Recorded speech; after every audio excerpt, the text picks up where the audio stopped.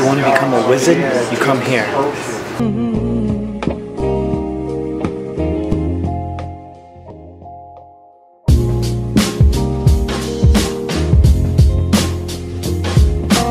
So we just got into New Orleans late last night.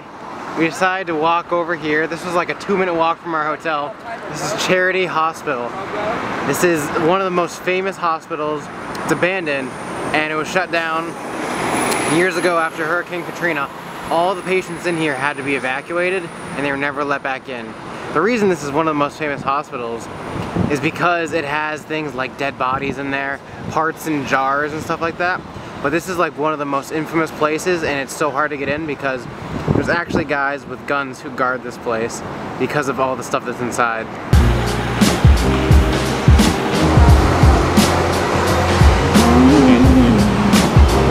We're at the theater now actually no trespassing allowed here. But we have permission from the owner. We're gonna go check it out now. Cirque du Freak and Now You See Me were filmed in here? That is crazy.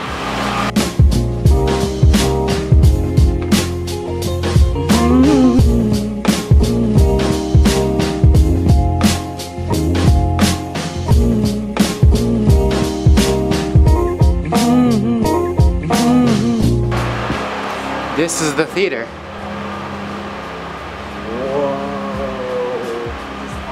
Dude, this is huge.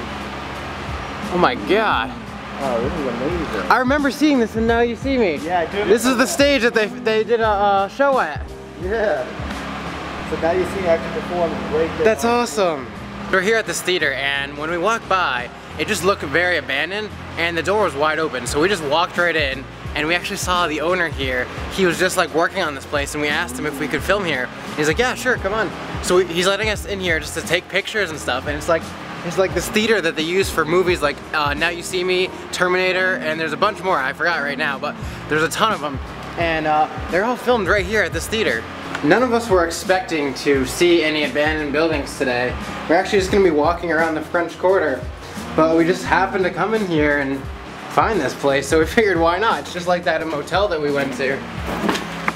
I mean, why not? Look at this chandelier right here.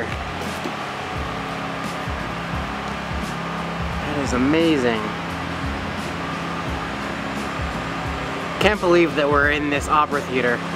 I've I remember seeing this and now you see me, it, and it was such a cool scene, especially looking out from the stage, out at the theater right there. Right now I'm just using my phone as a flashlight, so hopefully it's not too dark in here. I was not prepared. You can hear that the owner is currently working on this place. There's no power in this uh, building after Hurricane Katrina, he said. So they have to use generators in this building in order to uh, get lights and power tools working. I'm on the bottom floor now. This is so crazy. We're just seeing all kinds of movie sets lately. So this is the bottom row of chairs.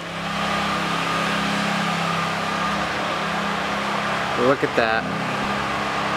This is one grand theater. I love how the ceiling is made too. Look at that architecture. Hopefully you can hear me over the generator here.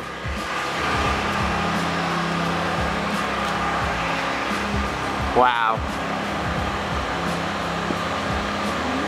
This goes up really high. So this ladder right here, it looks like this is how you get up to the top floors. Take this ladder, then that ladder, then that ladder.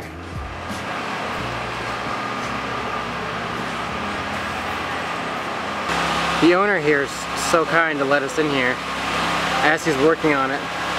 He said we caught him at a great time because he's never here. Whoa! Look at that! He just turned on this light for us. My god. That's amazing. Right now I'm standing on the actual stage that they shot a ton of movies on. I mean, this is the opera theater used in so many movies. And looking out here, there's only one single light that he just turned on for. This giant chandelier. I mean, this is such an amazing opportunity that we just walked into. We just happened to walk off the streets into this building and find this guy. I mean, this is crazy.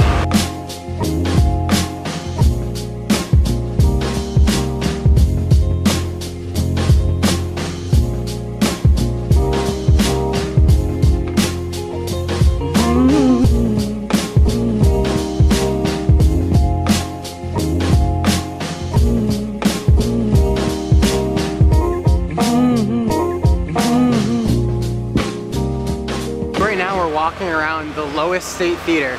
That's where all these movies were filmed at, in this location. And we get to just walk around in here with the lights on.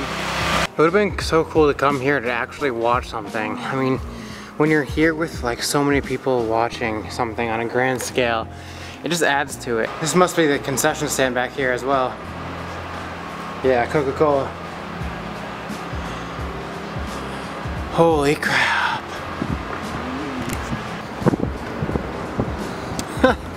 Somehow I just came out onto the roof.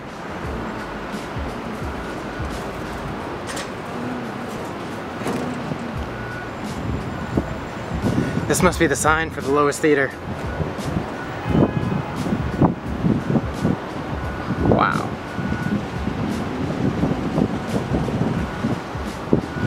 Can't believe I'm just standing here on the roof of this place. Never thought I'd be in here.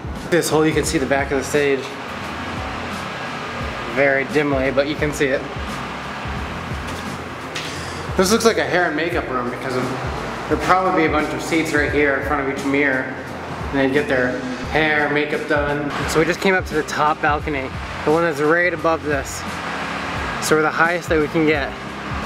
And this is so cool.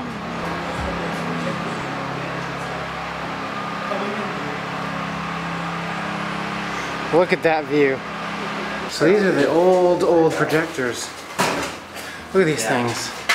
They would shoot through this hole down to a screen on the theater. And I can't believe how big these projectors are too. They're so big, they're taller than us. Uh-huh, they're massive. Look what's inside. Oh, look at all the film strip. I know, I found one too. It's This is all the film strip of movies they would play here. That is so cool. Now I stand down to the galleys right forward. Come here. Get over here.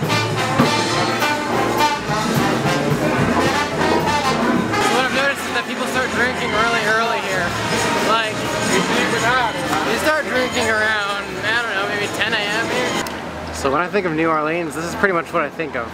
There's buildings like this with tons and tons of plants and uh, trees growing around it. What are you guys looking at? Fox mask. Look at this. I like it. I love it. Ooh, look at that. Ah, That's serious. So we each got masks, but it's got the gesture going on. Oh, dude, that is John has a sick. Fox mask like me. That is so sick. Oh. You look at one of those like insane clown things, guys. you don't talk about, right? I know, yeah, I know what you're talking about. That's dope. That is dope. Yeah. I like it. I dig it. I just got some masks here. Uh, I got a mask that's a cool little, uh, little clown guy. These guys got fax masks. They said it's because they're Asian. We're gonna ship these masks home so they don't break over the next two months. This is But, so uh, dope, man. I thought it was a pretty cool souvenir. I never really buy souvenirs, so.